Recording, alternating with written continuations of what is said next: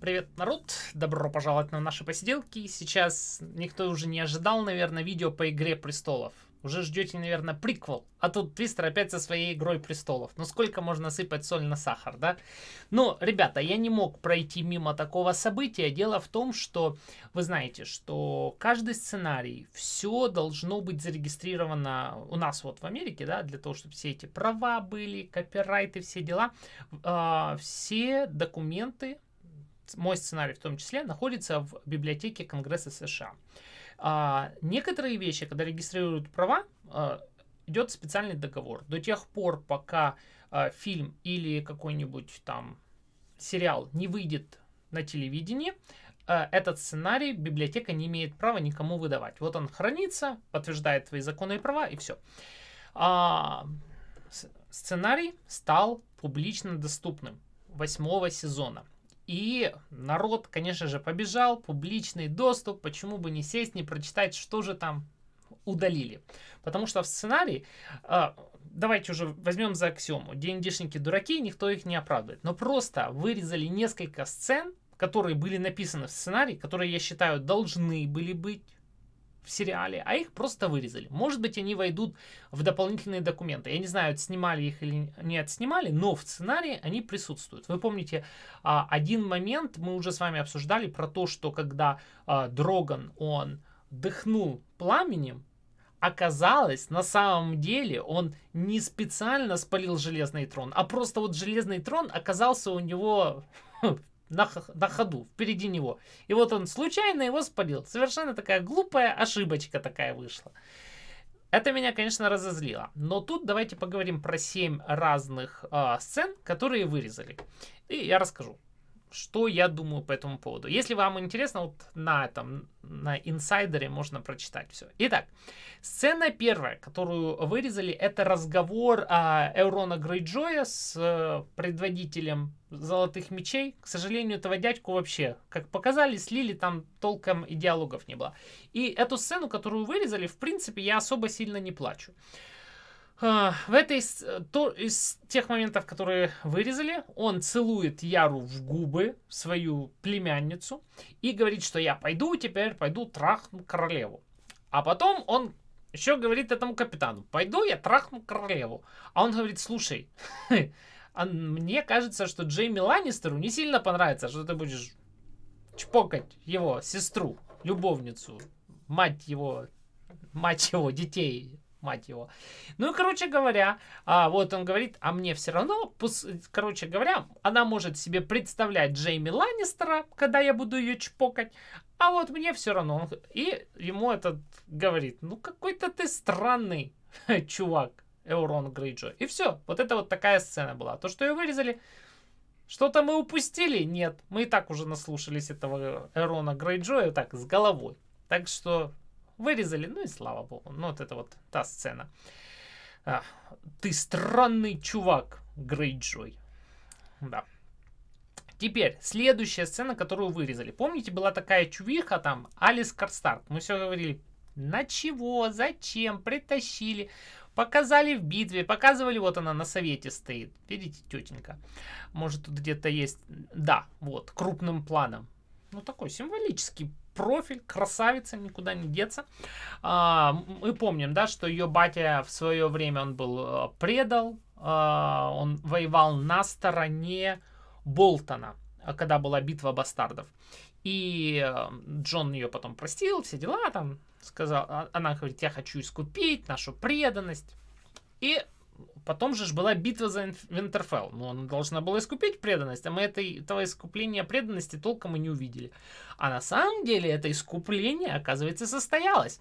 Она со своими людьми сражалась, вырезана сцена, в которой она со своими людьми сражается. Нам, по-моему, там совсем маленький кусочек показали. А там было больше, где она сражается вот в этом чар-саду с чар-древами, чар-деревами, а, где она со своими людьми там защищают Брана, все дела там они. Но их там а, набежало толпа невиданная, затоптали, растоптали, размазали и убежали, и никто даже извините не сказал, никто руку девушке не подал. Ну, в общем, вот такие вот дела. Боже мой, я соскучился, ребята, я так соскучился за вот этими вот разговорчиками по поводу Игры Престолов. Надеюсь, вы тоже балдеете. У меня даже кошка и та балдеет. Теперь, поехали дальше. То, что вырезали эту сцену, ну ладно, хотя бы хоть чуть-чуть больше показали бы нам ее, потому что потом в конце, когда полили тела, все, стоит такая героиня, все защитила своей грудью, защитила пол Винтерфелла. Ну, хорошо, молодец. Ну, показали бы вот немножко больше, как она защищала, было бы интересней, согласитесь, да?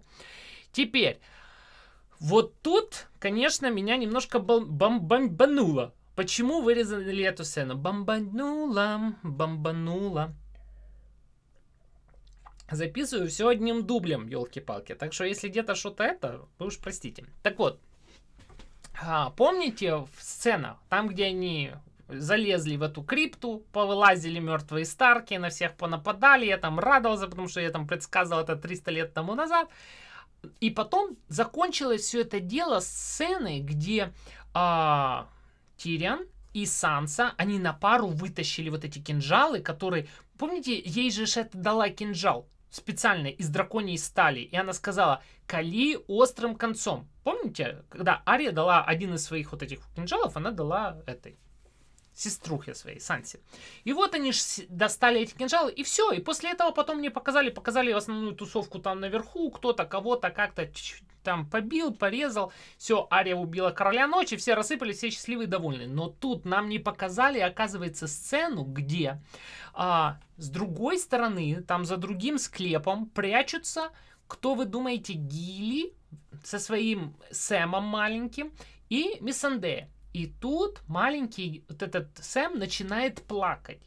И, конечно же, это начинает привлекать внимание вот этих вот зомбаков. И вот эти зомбаки начинают бежать и нападать на Миссандей, нападают на Гилли, нападают там на этого Сэма. Вот они уже бегут, бегут, бегут. Они в, э, в этом сценарии опубликованы как мертвые старки. И вот они вот набегают но они не успевают добегать, потому что они пуф, пуф, падают, рассыпаются, а за ними стоят Санса вместе с Тирианом и с вот этими кинжалами. И в сценарии написано, даже вот тут где-то есть, что она кольнула их острым концом. Я просто, это так в сценарии.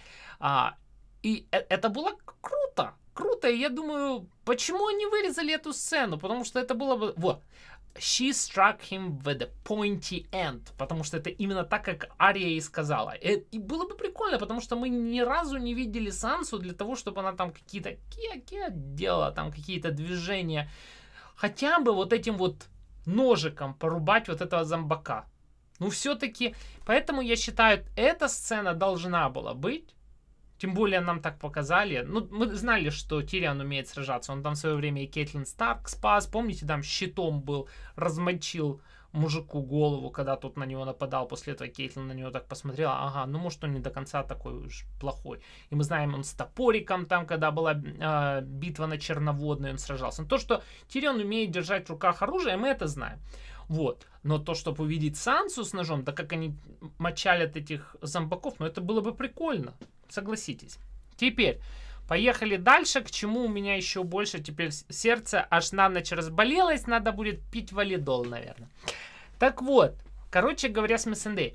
Все, что вырезали по поводу того, что нам показывали, как а, Дайнерис идет к вот этому безумию, вот нам из-за чего в основном все возмущались, потому что не было вот этой раскрытия арки Дайнерис. Что происходит? Несколько еще тоже, да, даже если бы эти сцены включили, все равно этого было бы мало, но это было бы больше, чем то, что у нас было на данный момент. Что происходит? Короче говоря, во время бала а, Миссандея сидит хихоньки-хахоньки серым червем, там хи-хи-хи, а, а, когда с Дайнерис они глазами встречаются, она сразу раз такая, все, такая девочка, припевочка, ничего, никто меня это не это, я вся девственница во всех местах, все такая культурная, прилежная.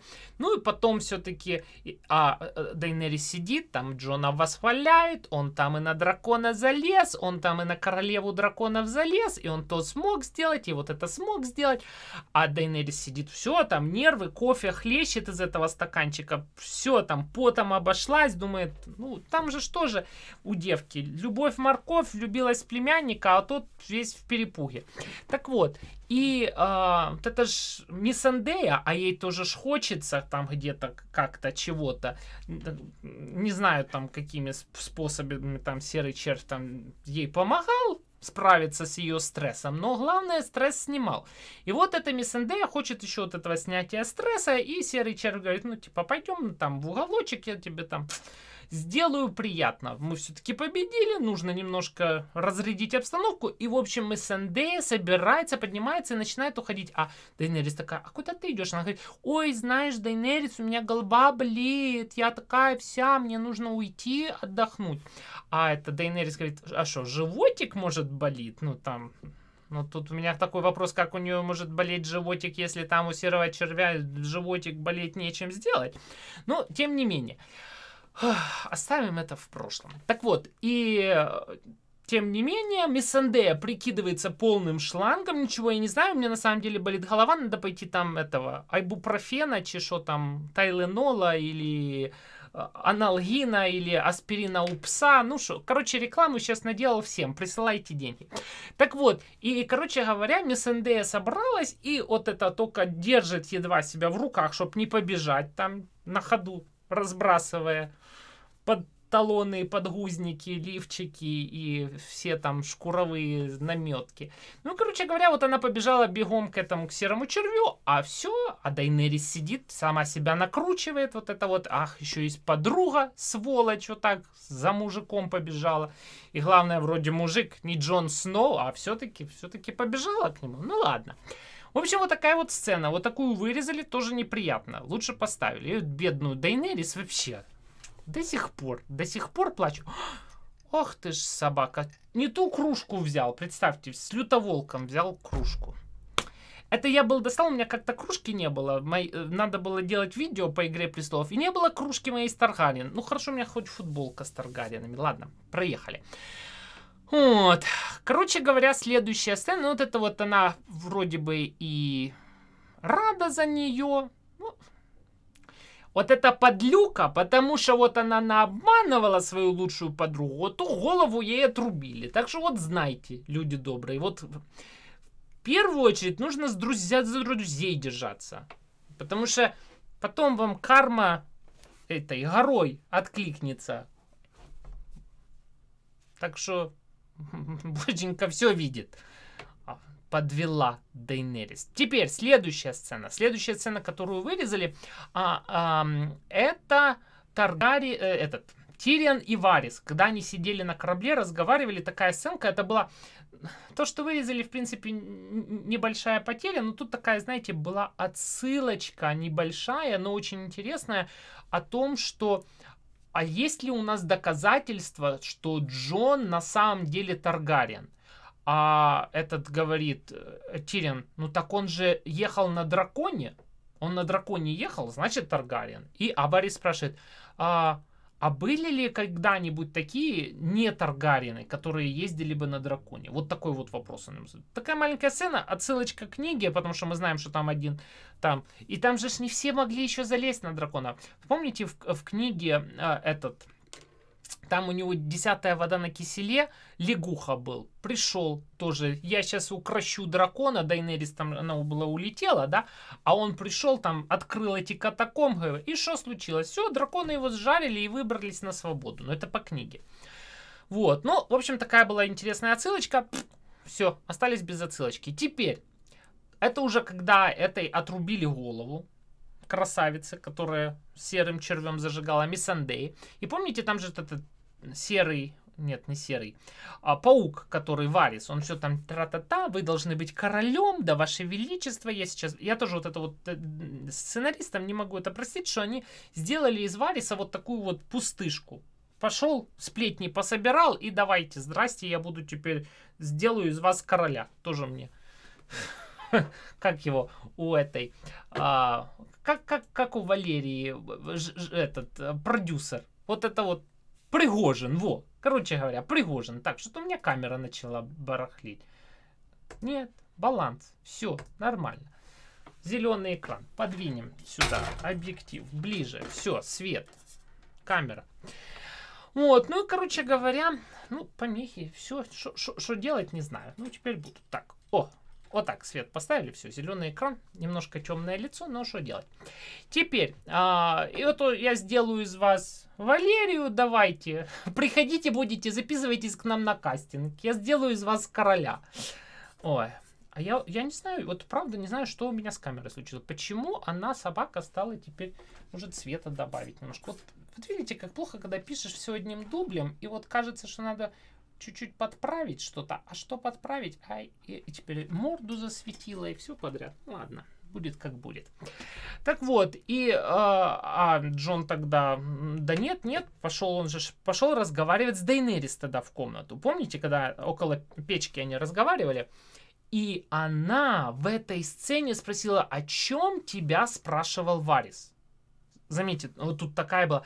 И Джон собачья лапа попытался, начал сначала юлить, а потом такой все-таки не выдержал и рассказал, что на самом деле э, Варис там, она говорит, он хотел, чтобы э, ты стал королем, оставайся, мальчик, с нами, будешь нашим королем, пара папа.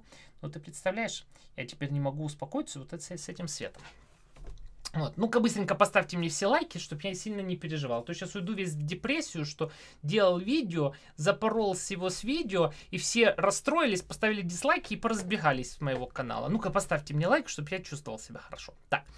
О, сразу полегчало, спасибо. Так вот, а потом они начали вот эта сцена, помните, когда целоваться начали, и она говорит, что а, когда э, что ты моя королева, и, а потом она ему говорит, пускай будет тогда там uh, let it be fear. Пускай это будет страх. Но вырезали одну сцену, помимо того вот этого разговора с Варисом, там еще была сцена о том, что Дайнерис, когда они поцеловались, Джон начал вроде бы отвечать на поцелуй, а потом отстранился. Она говорит, тебе что, неприятно? Она начала вот этот разговор о том, что мы-то тетя с дядей, нет, тетя с племянником, типа это тебе неприятно. Они начали идти в эту тему, а Джон начал опять увиливать, начал крутить своим хвостом собачьим. Вот. И, короче говоря, не, он, он Таргариен, у него хвост драконий. Не, у него наполовину, он же у него Лиан, Лианна Старк, это была мама собака, а папа был дракон. Ну вот, короче говоря, хвостом начал вилять, и вот это вот э, все. И, и вот эта сцена, она тоже имеет огромное значение. Но самая большая сцена, которую вырезали собаки, сволочи, не прощу. Короче говоря, сцена. Дайнерис слышит колокола. И она летит именно на Красный замок. Она летит, чтобы уничтожить Красный замок.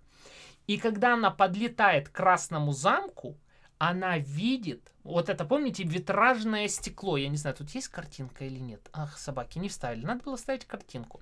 Витражное стекло она видит, которое из тронной залы. И там вот это стекло, и вместо семиконечной звезды, вы помните, что это сделала э, Серсея? Она поменяла, вместо семиконечной звезды, она прицепила туда эмблему льва. И знаете, да, что у Дайнерис это все пш, а, крыша. Тут где-то тут где-то где-то должно быть One Dragon. Хотел вам показать, где-то здесь. А, вот. She clocks as a symbol of uh, Dany would see the Lannister lion sigil. Sigil. Uh, на, на окне она увидела вот этот символ льва. И вот это был основной триггер. Не колокола какие-то, ничего. И когда она увидела, что в королевской зале позволили прицепить, что вот это вот стало, она поняла, что все эти людишки, все эти люди, они все, они даже своего, они Богу перестали поклоняться своему семи, семиликому. Все, у них лев стал. И вот тут у нее все. Вот тут уже последняя планка тронулась, и она начала палить красный замок. А потом уже погнала и уже разогналась, и уже девка не смогла остановиться. Ну, знаете, это точно так же бывает. Там э, вроде бы думаешь, ну, сейчас я вот только, только вот маленький бутербродик со шпротинкой съем, и все. А потом пошли и вареники варятся, и пельмени насыпаются, и картошку ты себе пожарил, и там лучок, и уже курица пошла в ход. И все, и ты уже потом нажрался, и уже думаешь, ну и все, ну не скотина ли я? Ну, это я о своем, о больном. Но точно так же и Дейнерис. Думала спалить только королевский красный вот этот вот замок. Увидела. Пошла уже и думает, ну что, раз я уже сюда приехала, дракона, главное, раскочегарила, что я его ради одной башни вот это буду только тютюкать. Ну все, и пошла и спалила кедрени матери все. Ну, в общем, вот такие вот сцены. Ребята, вот пишите, пишите мне в комментариях, что вы там думаете. Э, знаю, что уже вроде бы, казалось бы, все отболело. Вроде бы уже все. Королева моя. Не простим, не забудем. Север помнит. Чашка, елки-палки. Все, пишите в комментариях, что вы там думаете, какая сцена, какую бы сцену вы хотели бы увидеть. Как вы думаете, если бы, все-таки если эти сцены отсняли, и они будут на DVD-шке потом, какую сцену вы хотите больше всего посмотреть? Все, давайте, ребятки, пока, пока. Пошел я спать, и тут завтра в 5 утра на работу. Все, ставьте там лайки, подписки, все дела. Пока.